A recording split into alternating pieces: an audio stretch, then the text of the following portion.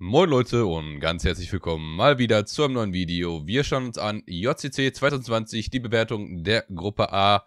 Ja, ähm, ist gestern rausgekommen. Ich war allerdings gestern Abend grillen und habe das ein oder andere Pinchen getrunken. Deswegen entschuldigt bitte vielleicht, wenn ich den einen oder anderen äh, Sprachaussetzer habe oder so. Ähm, ja, wir schauen einfach mal rein. Ich bin sehr gespannt, wer weitergekommen ist. Und danach schauen wir uns die vier neuen Runden an. Wir fangen an. Let's go, Freunde. Yeah.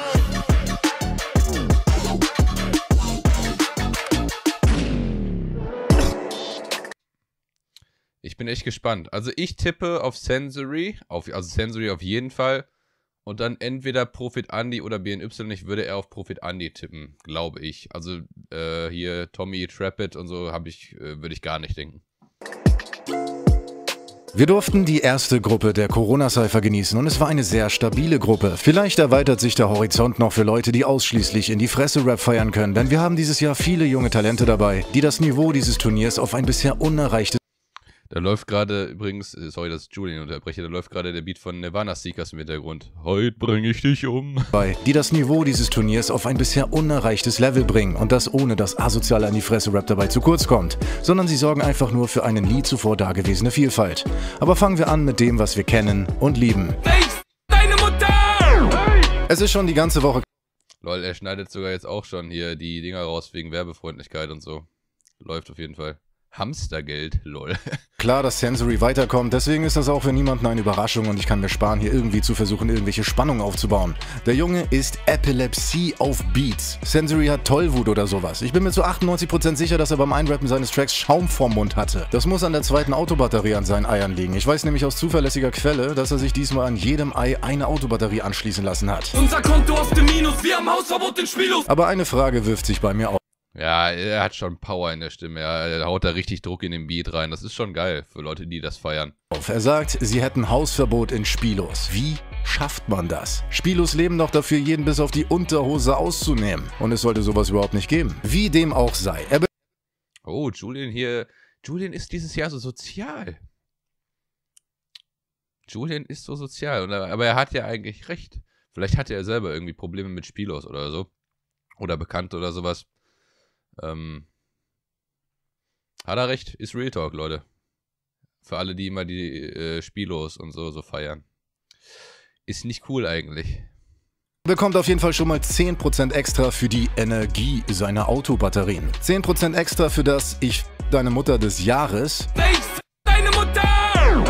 So genial, wie er das rüberbringt, sollte der ein oder andere von euch sich ernsthaft Gedanken darüber machen, ihm seine Mutter anzubieten. Das wäre nur fair.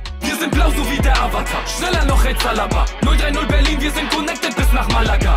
Ah, ich hab Kontakte. Ich hab Kontakte.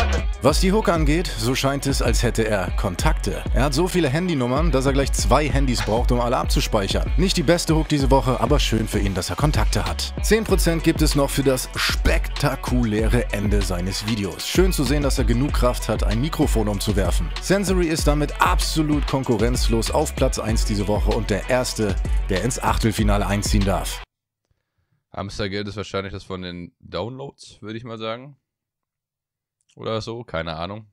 Ähm, bin ja gerade, wie gesagt, ein bisschen verpeilt. Ja, war klar, dass er die Eins ist, ne? Unsere Nikes sind am Freak, Lifestyle ist am Freak. Von euch Asi-Rappern, ja, ist keiner so am Freak. Tommy Trappett. Dachte ich mir, dass er auf der 4 ist und der Regenmacher sind unser Neuzugang und auch direkt wieder Ausgang. Schade, dass das mit den Mails nicht geklappt hat in der Qualifikationsphase, denn die beiden wären auf jeden Fall nicht auf Platz 31 gelandet und somit auch nicht in dieser Gruppe. Egal, das Kind ist schon in den Brunnen gefallen, da lässt sich nichts mehr machen. Wenigstens hatten die beiden kurz ein Spotlight. Wir haben hier, wie ich finde, die beste Hook diese Woche, den krassesten Style diese Woche, das sich am meisten drehende Video aller Zeiten und die beiden sind on fleek. Vielleicht sieht man sich im nächsten Turnier wieder. Okay, Hamstergeld ist nicht äh, Downloads. Hamstergeld ist nicht Downloads. Gut, wissen wir es auch schon mal. Ähm, ja, Hook kann man als beste bezeichnen, fand ich gar nicht. Da fand ich die von BNY tatsächlich einfach schöner zum Hören. Fürs Video extra Punkte geben, wäre einfach nett gemeint von Julian. Ich hätte dafür was abgezogen, wäre gegen das Video so auf den Sack. Ähm, ja, war ja, war es trotzdem auf jeden Fall. Wie gesagt, schade, dass sie es halt äh, nicht als Quali abgegeben haben, ganz normal, wie er es gerade gesagt hat. Und dann hätten sie vielleicht nochmal eine andere Runde gebastelt und wären auch nicht in der Gruppe gelandet. Aber so ist es, wie es ist. Ne? Wenn sie nicht auf die Mail geantwortet haben, sind sie ja selber schuld.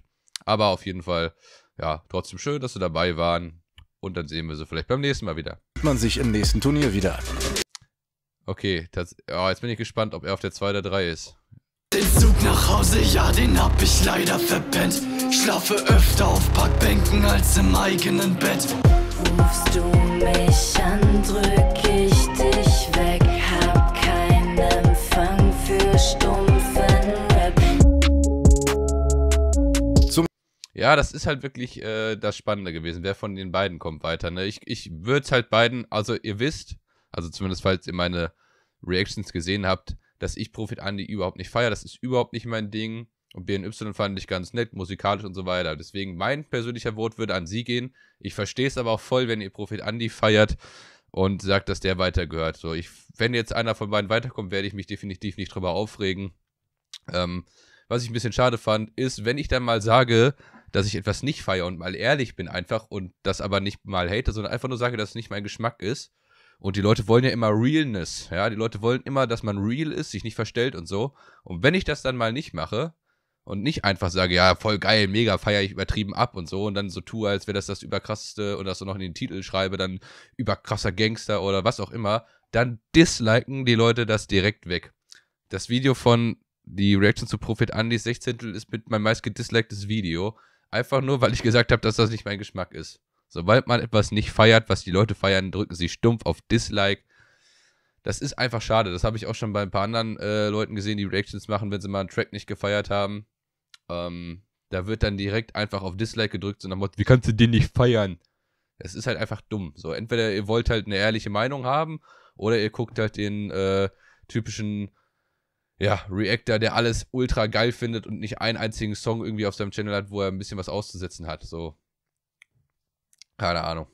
Zum Schluss kommen unsere beiden Wackelkandidaten, Prophet Andy und Bonnie. Ja, ich habe sie gefragt, was dieser BNY-Kram zu bedeuten hat.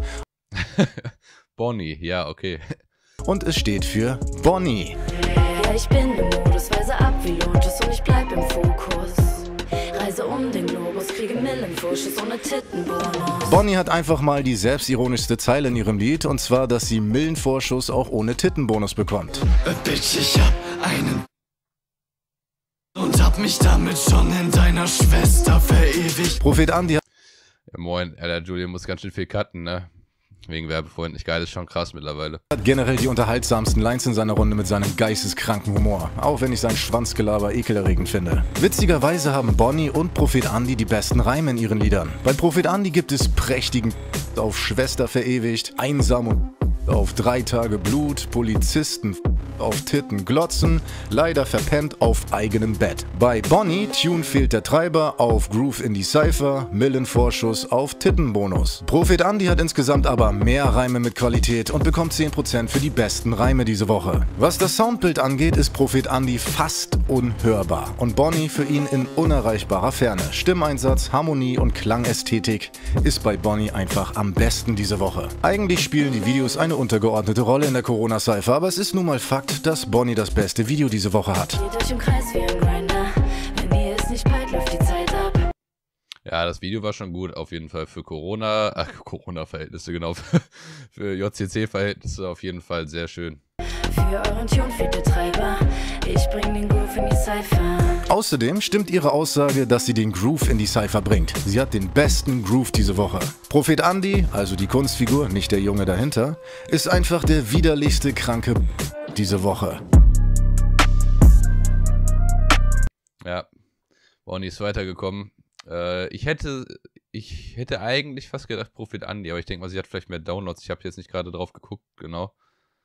Ich guck nochmal. Sie hat 81 Downloads und bei ihm waren es, stand es da schon? Nee, ne, stand später da, ne? Da, da, da, da, da, da. Bin mir jetzt so blöd. Ja, er hat 39. Die Downloads haben es gerissen, denke ich. Einfach der widerlichste kranke diese Woche. Ja, also ich denke mal, viele werden sich natürlich geärgert haben, dass Prophet Andy nicht weiter ist, weil den haben halt viele auch brutal gefeiert. Viele haben den aber auch halt komplett überhaupt nicht gefeiert, wie ich halt. So, sorry für alle Fans äh, von ihm auf jeden Fall. Aber ich denke mal, er kann auf jeden Fall was reißen. Äh, weil, wenn er einfach seinen Style weiterfährt und vielleicht die Leute, die ihn brutal feiern, einfach supporten, dann kann da ja was draus werden, ne? Ja, also ich äh, kann mich da überhaupt nicht beschweren. Ich fand, war eine coole Gruppe auf jeden Fall. Alle haben abgeliefert und äh, dass Sensory weiterkommt, war ja klar. Äh, ja, und jetzt ist Bonnie auch weiter verdient, würde ich sagen.